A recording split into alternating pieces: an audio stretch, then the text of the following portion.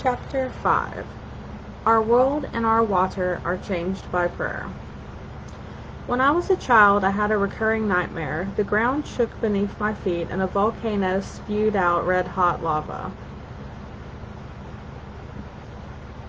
I'm not sure.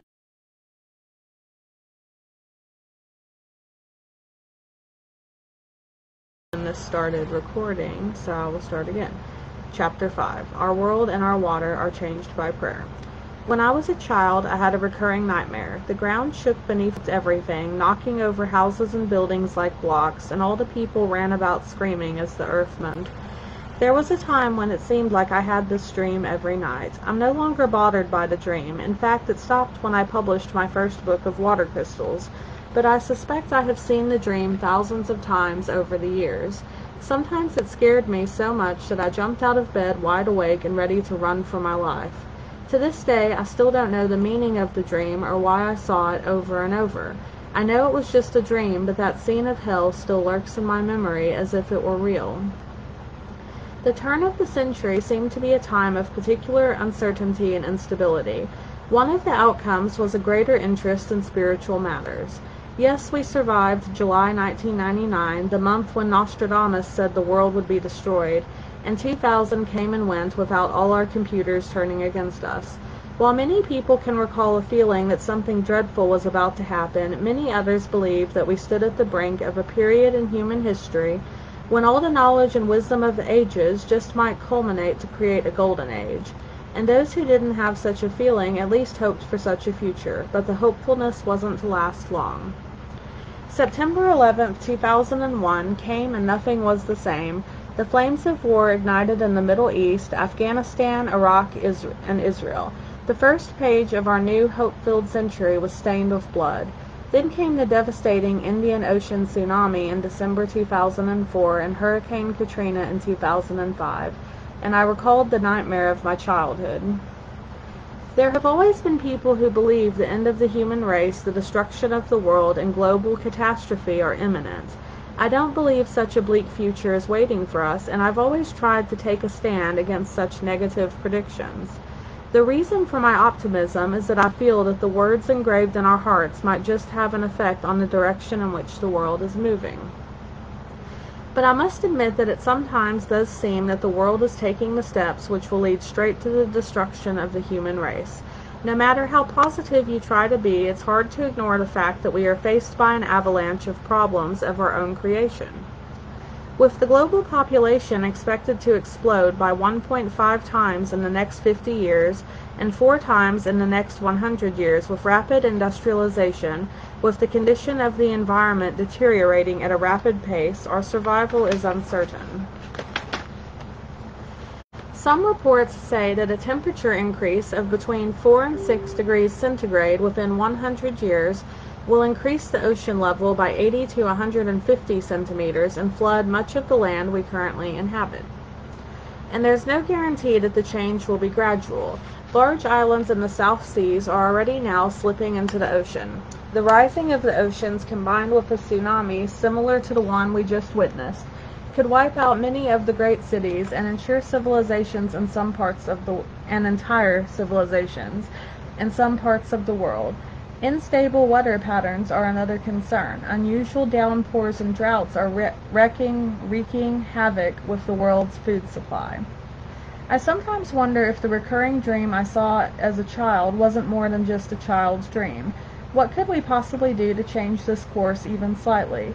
One solution is to change the way we live and the structures and systems that form society. Environmental concerns. In Chapter 3, I discussed the destructive repercussions of blocking the flow of water. We see the same results when we interfere with the delicate circle of life that forms ecosystems.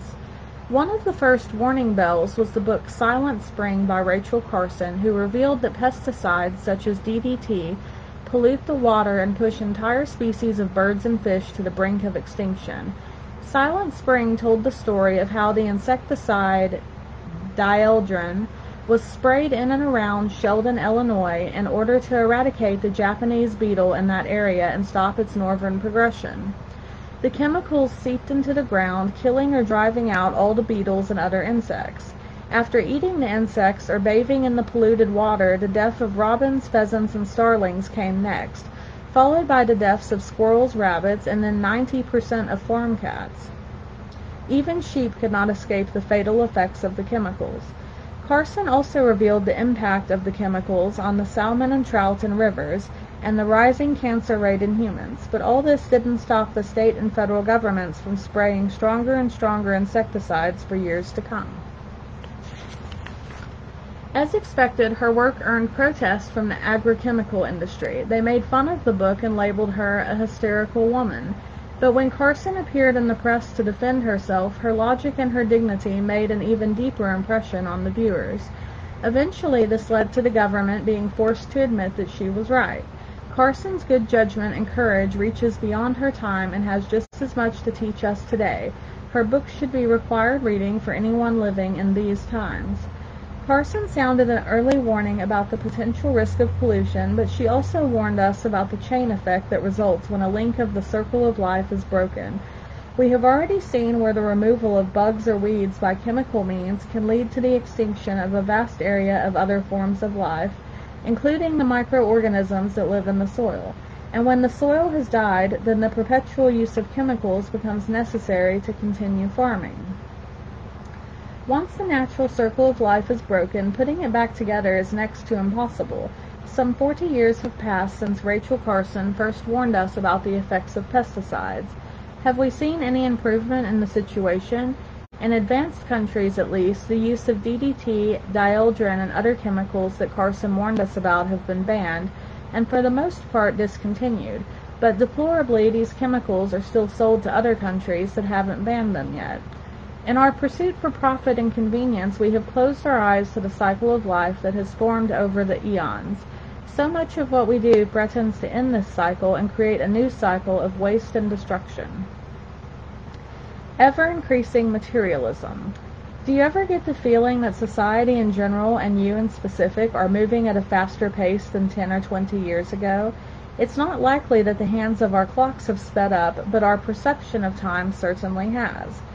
Imagine that the world is an enormous spinning top. We'll call it the top of materialistic culture. As culture develops and we acquire more and more, the top gets bigger and bigger. This is how life goes in our materialistic state. Each year, sales have to increase, incomes have to rise, and, and economies have to expand. We're made to think that staying the same or slowing down will lead to recession, depression, and failure. Goals achieved lead to the setting of higher goals and requirements to work ever harder and faster. Ever loyal, we have labored diligently to expand the size of the spinning top. And we at the edge of this top must travel an increasingly wider distance to make one rotation. While a small top might complete a rotation in one second, a top twice as large or a thousand times larger would take much longer to go around once. While a small top may rotate a few centimeters per second, a larger top may travel a few meters. The speed of the hands on your clock are going at the same speed, but the rate at which change takes place is speeding up, and perhaps someday the spinning top will go so fast that we'll no longer be able to hang on. How can we slow down this spinning top? I know of only one way, and that is to cast aside our fast-paced materialistic lifestyles. In other words, our continued sojourn on this planet will require that we pack lighter. It's just that simple. You may believe that you can get more accomplished in less time if you live your life in overdrive, but for most people it ends up meaning working harder and harder in a job they like less and less. As society expands and infrastructures become more complicated, the role of the individual is increasingly delegated to a minuscule piece of a vast machine Feeling powerless to make a difference, people resign themselves to doing what they are told to do and nothing more. But the greatest steps forward can often be made by becoming smaller instead of bigger, by going slower instead of faster. Within an organization, workers are able to expand their abilities only to the limits of the box within which they function. In many large companies with compartmentalized divisions, the scope of most people is limited to the task at hand. With only a small role to perform within a large box, the importance and value of each role is minimal, as is the employee's perspective and need to develop his or her abilities. But when the size of the box that people function within is reduced, the role of the people within the box becomes more important and valuable, and knowing this, most people will strive to expand their skills and abilities. They get to know their coworkers, communication improves, and motivation increases. Ideas that were formerly obscured by the complexities of the big organization would emerge and innovations would revolutionize the organization. Young employees in the company would see hope and be motivated by their unlimited potential to move up in the company. The concept that smaller is better applies not only to companies. These same results could be seen in governments and all other organizations in, society. A changing sentiment. More and more people are beginning to understand that bigger and faster is not necessarily better. It is becoming clearer that continually piling unreasonable greed and demand on top of each other leads to destruction rather than success. It's not unusual to see financial institutions, construction companies, and retailers fighting for their survival. We might even say that the destruction of the World Trade Center was symbolic of a broader change taking place in our society. Of course, the terrorist attacks were a heinous crime, but one reason the Twin Towers in New York were targeted by the terrorists was because they were a symbol of the global economy and one of the most enormous building complexes ever built. I believe that its collapse has played a role in moving us humans toward the theory of E. F. Schumacher, who advocates small is beautiful in his new economics with humans in its center. Many people today are coming together to form communities beyond the typical definitions of neighborhood and village. In Europe, the United States, Australia, and other parts of the world, communities are forming with the aim of living peacefully with the environment. These communities take various forms, but they all have the basic goal of separating themselves from consumer-based lifestyles and becoming self-sufficient. Another aspect of this trend is the slow food movement and the rising voice against the drive for standardization promoted by globalism. In recent years, we've also heard talk of new regional currencies and the drive to implement systems that return to focusing on the exchange of goods and labor of equal value instead of the continual expansion of speculation that is going on now. This is another way that we are returning to the fundamentals of the concept of community. A natural, renewable alternative to oil. One thing that these new old concepts of community have in common is concern for the environment. For a long time, oil has been a source of major concern and conflict for the world.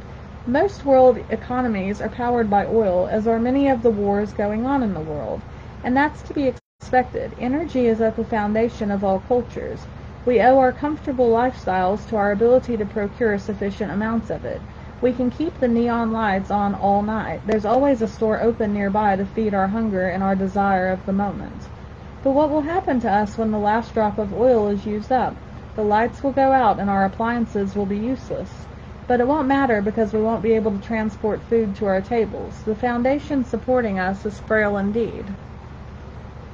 If it's not cramping our style today, then we tend to think it's a problem for someone else. But now in times of abundance is when we should be laying the foundation for the survival of future generations. We need to be looking for something to replace oil and the oil-based products that we so rely on. One possible alternative that has caught my attention is hemp. Nature provides for us in many wonderful ways, so we should look to nature first for solutions to our challenges. The hemp plant can provide many of the things that humankind requires in order to survive on this planet. From its stalk, paper, cloth, and even plastic can be produced. Four times more paper can be made from an acre of hemp than from an acre of trees. The cloth made from hemp is much more gentle on the skin than chemical-soaked cotton, not to mention that hemp is three to four times more efficient than cotton as a crop. From the seed and stalk of the hemp, diesel fuel, methanol, and ethanol can be obtained without the byproducts of sulfur that causes acid rain and air pollution. Ford Motors has even made a car with a plastic body made from hemp that runs on hemp fuel. Hemp can also become an ideal source of human nourishment. The fruit of the hemp plant provides the same amount of protein found in soybeans and it is easy to digest. It also contains essential amino and fatty acids. The hemp seeds can also be used to make a healthy oil. Huo Ma Ren is the Chinese name for it, and it is widely used as herbal medicine. Its medical uses are numerous. Possible derivative products include an antibiotic, antidepressant agent, pain reliever, and headache medicine. It's also reported to have shown dramatic results in the treatment of cancer, AIDS, rheumatism, and skin rashes. Hemp can also be used to make shampoos and cosmetics because of its moisturizing characteristics. Another fe- feature that makes hemp attractive is its rapid growth rate. In 110 days, the plant will reach a height of 2 or 3 meters, making it possible to harvest several crops in a single season. In Japan, it's said that ninja would use hemp to improve their jumping skills. When the plant first started to grow, they could easily jump over the top of it, but as it grew taller day by day, it required more and more effort and skill to clear. As the hemp plant grows, it converts carbon dioxide into oxygen at a faster rate than almost any other plant. The amount of carbon dioxide taken in by hemp is pound for pound three to four times more efficient than deciduous leaves. From a hado perspective, hemp is good for the environment because it has positive hado. In fact, hemp's high rate of growth is what enables it to grow so quickly. It is a gift of nature that could come to our rescue just when we need it. Hemp is woven into the fabric of America's history. It's said that without hemp to make ropes and sails, Columbus would have never been able to make the trip across the ocean. Even the Declaration of Independence is written on hemp paper. You could even find hemp growing on George Washington's farm. Unfortunately, there are misconceptions about hemp because of its relation to marijuana or cannabis, which is illegal in many parts of the world. Despite this, there has been a grassroots reawakening in recent years to the potential uses of hemp. In July 2001, the hemp car, a biodiesel car running on fuel from the seed of the hemp plant, left Washington, D.C. and started on a trip across America to promote the benefits of hemp as a resource.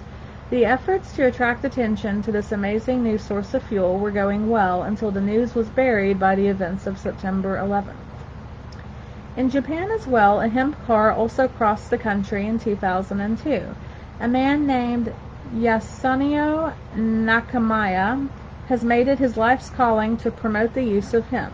He says that he sees hemp as essential for the survival of the human race. As a teenager, Nakamaya-san came close to drowning and had a near-death experience. The young man found himself surrounded by lights in another world where people were going about their lives. He saw a plant with beautiful leaves and recognized a wonderful sense of healing coming from the plant.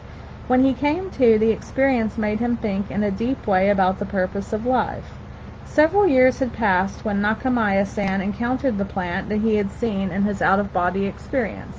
There was no doubt in his mind that this was the plant which would help him understand the mysteries of life and the universe. The plant, of course, was hemp, and since that time Nakamiya-san has made the study of hemp his life's work. Japan's version of the hemp car left a small city in the northern tip of Japan with its destination, the Heitate Shinto shrine in Kumamoto Prefecture. In place of gas and a diesel engine, hemp oil was used. This biodiesel fuel emits no sulfur dioxide and only one-third the amount of toxic smog emitted by petroleum fuel. During his journey, Nakamiya-san visited many places related to hemp, including the Hemp Road of Japan that served as the network tying together an ancient self-sustaining society. In ancient days in Japan, many trade routes linked the country. Along with routes for salt, sugar, silk, and other products, there were also routes for transporting hemp. If you drive the hemp road, you can see the traces that ancient Japan had an abundant self-sustaining society, which was based on a solar worship.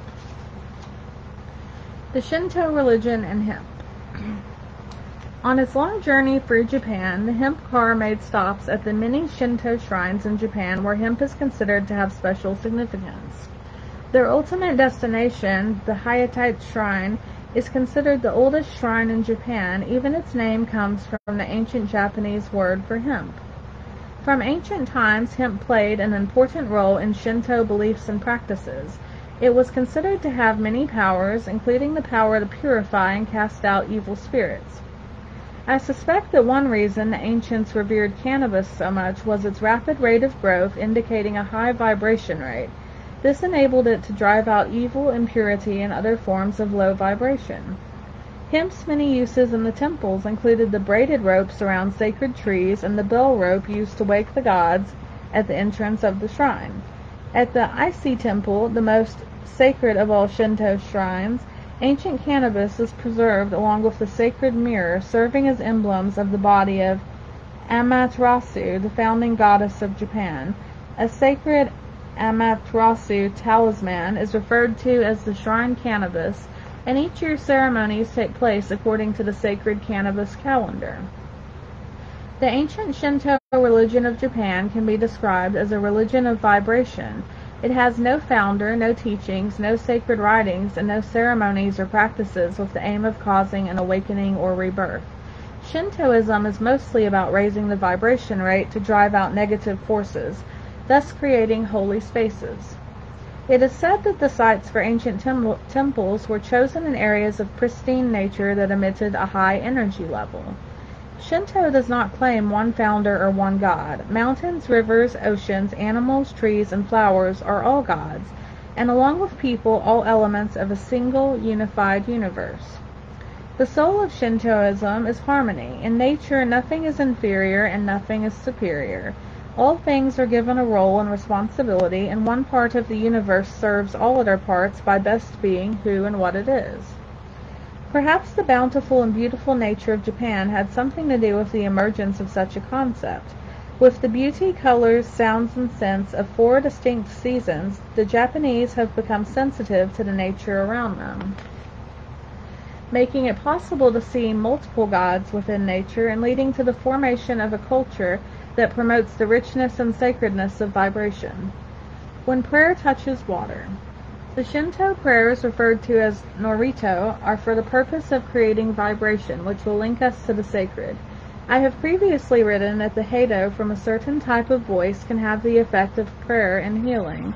I have had many experiences of praying over water with the locals in places such as Lake Biwa, the largest lake in Japan, in Lucerne, Switzerland, on the shores of Lake Zurich in the Bahamas, and in other parts of the world. In every case there was a striking difference in the crystals made from water collected before the prayer and after the prayer, and the subsequent crystals were always beautiful and glorious.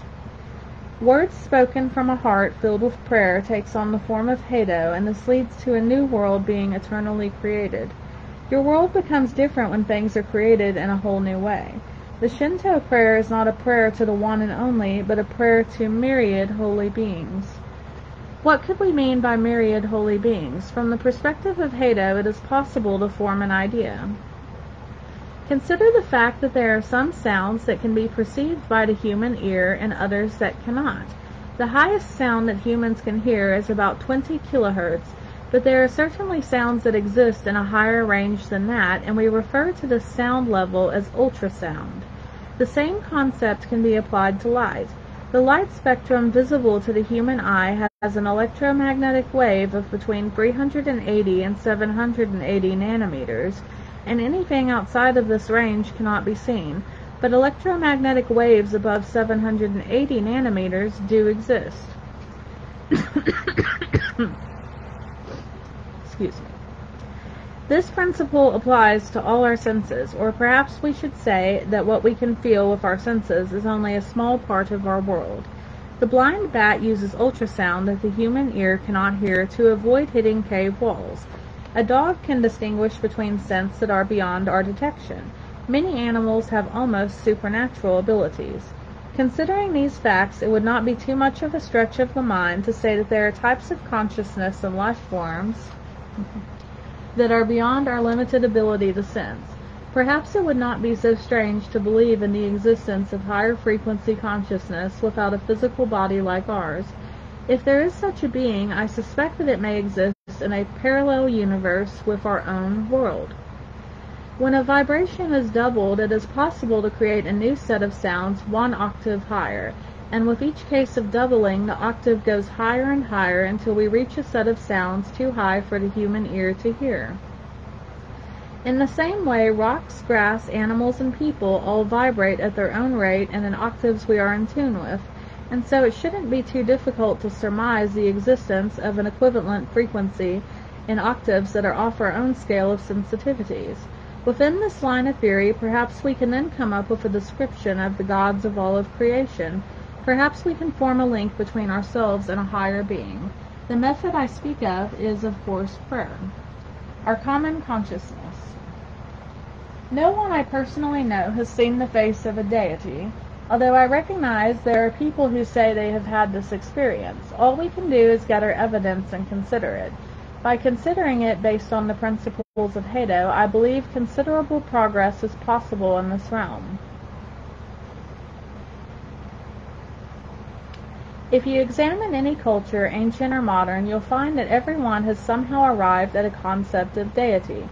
Genetic engineers, physicists, and other scientists who have reached to the edges of their fields become enraptured by the magnificence and order of nature, and thus become convinced of some unseen hand at work in the creation.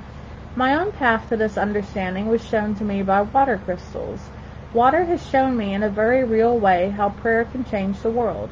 No one particular religion has been able to secure the exclusive rights for the power of prayer. No matter who we are, we all have the ability to take advantage of this amazing and wonderful power. Once you realize this, you will then be filled with the desire to help others realize this as well. More and more people are resonating with this understanding, and this could result in a more wonderful future for humankind.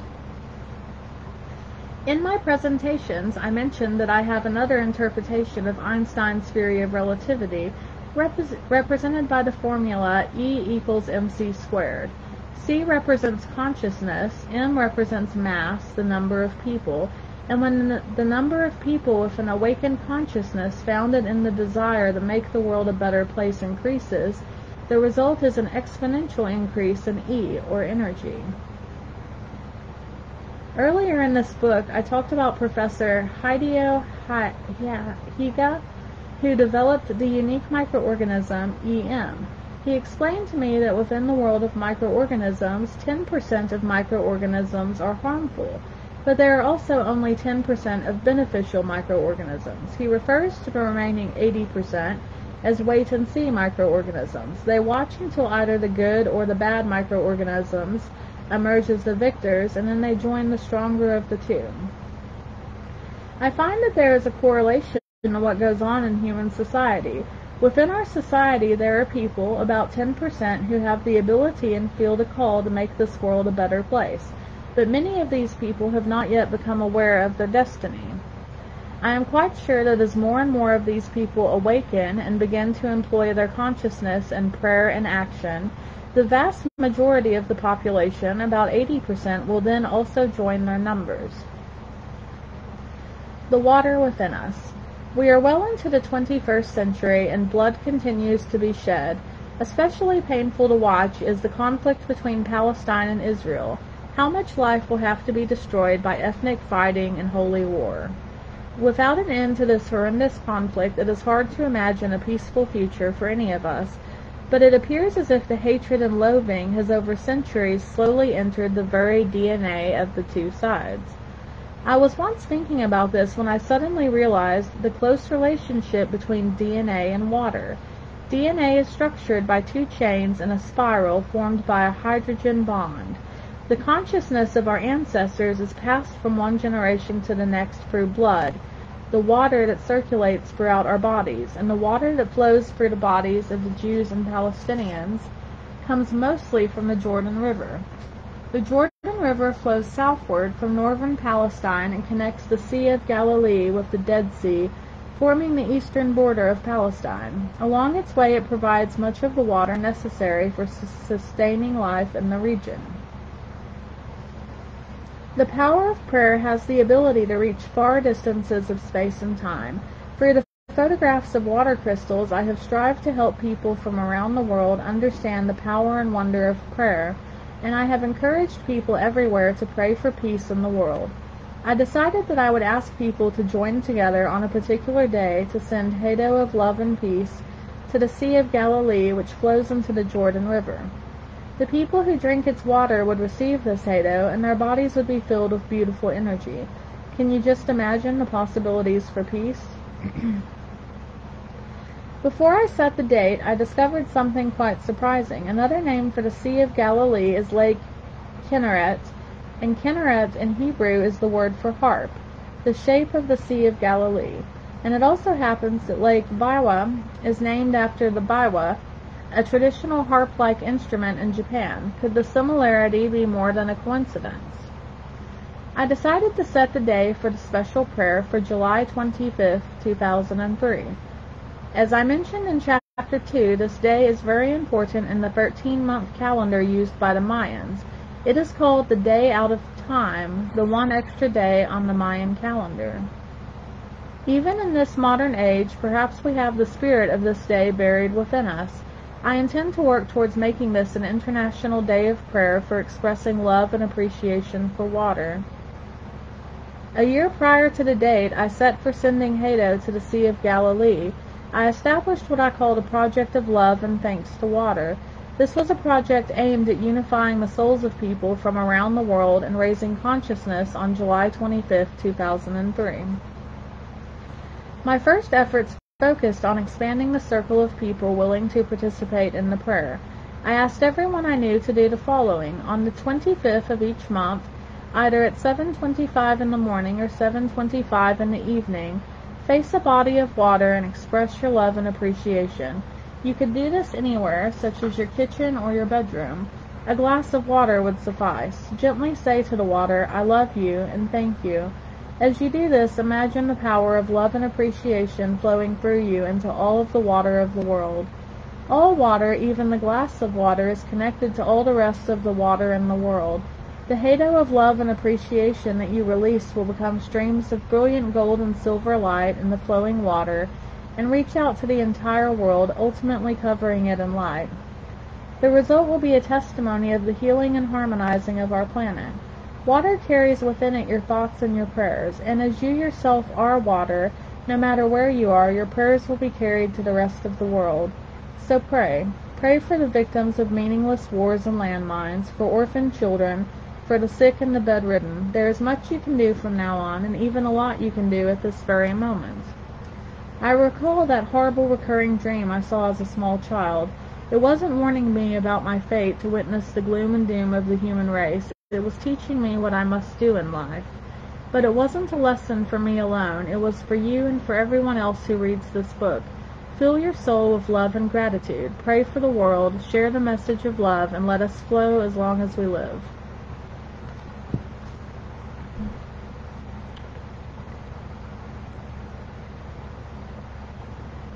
so great.